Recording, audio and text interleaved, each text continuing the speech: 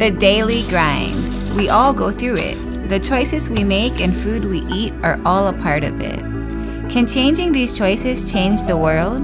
For me, it's changed my life. It's not easy these days to know where your food comes from, and I think that's messed up. Here in Hawaii, over 90% of our food is imported, and we really have no idea what it took to get it to our plates. That's why I strive to take a deeper look at the resources around me and how to use them responsibly. And what better place to start than my own backyard? It's definitely a flat day here on the North Shore. When winter season is here, this whole coastline looks completely different. But since today's a flat day, it's a whole different scene and that makes me very excited.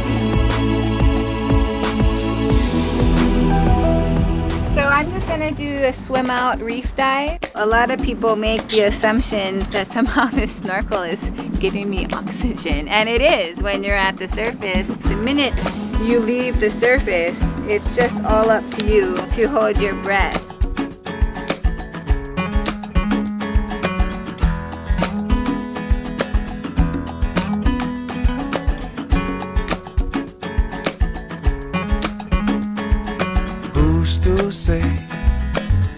What's impossible they forgot?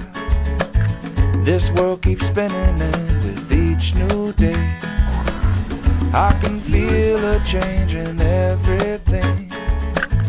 And as the surface breaks reflections fade. But in some ways they remain the same. And as my mind begins to spread there's no stopping curiosity. I wanna turn the whole thing upside down. I'll find the things they say just can't be found. I'll share this. Real gnarly and intimidating ukus. When they come in, they mean business. Becoming an athlete and an artist did not come easy, and I'm still figuring out how to make it all work. My love for art came from my love for nature, and that's what keeps me inspired to paint. You know, I don't always think about why I react the way I do, why I do what I do in the water. It's instinctual. That's how I feel when I'm painting. I just put a color down and know what color I'm going to go for next. And if I try and actually think about it, that kind of interrupts the process. Who's to say? Cooking is another passion of mine, and this is where I feel I can make the biggest difference in living sustainably. It gives me such joy to work with fresh, natural ingredients. And when I've harvested them myself, it makes me determined to not waste a single part of it. This he'e has changed color completely.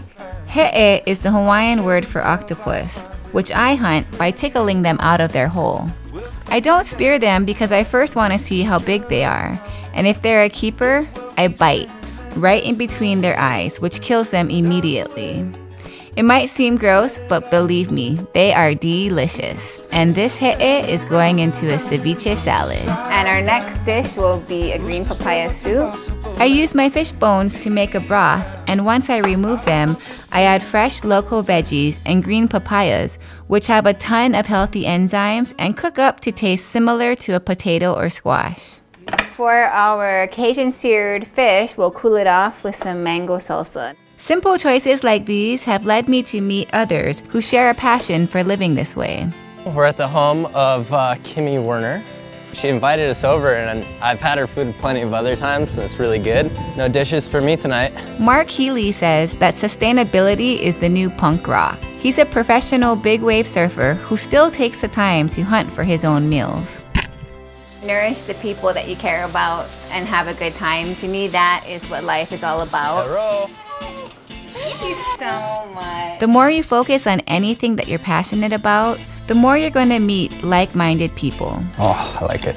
I met Kimi years ago through mutual spearfishing buddies. She's way better than most of the guys I know in the world, and she always wants to cook the fish afterwards. So I'm going to bring out our next course. You guys both eat he'e? Yep. If you're not used to it, it might be kind of a weird texture. Ooh, it's really good. It's So good. This is the uku fillets with some mango salsa. How big was this uku? Like six pounds? Simple choices might often seem too small to make big differences. But I think that by being more conscious and by simply having conversations with one another, we can find solutions to the challenges that we face. If I had my way, everybody who lives here would go and catch their own food at least once. At least see where their food comes from, where it could come from, and what it was before you ate it. Margaret Mead once said, Never doubt that a small group of thoughtful, committed citizens can change the world. Indeed, it is the only thing that ever has. The biggest threat you can have to the man in society is being self-sustainable. That's the most punk rock thing you can do these days. Homeschool. Gosh. Did it myself. you keep that one hidden sometimes, huh? That Oh, was really, really thanks. great.